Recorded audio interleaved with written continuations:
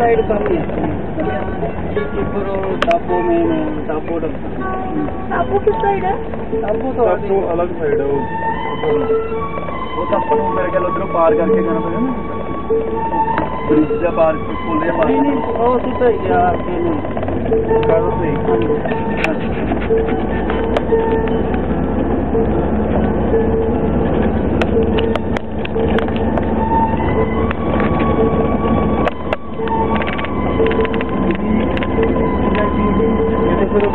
el mismo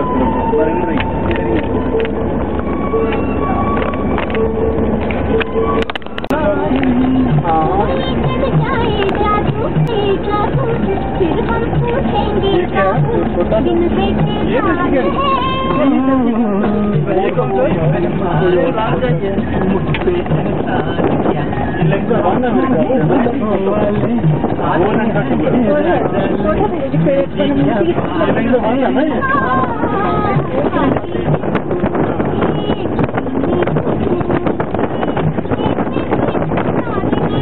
मेरा जालिम मेरी क्या बात है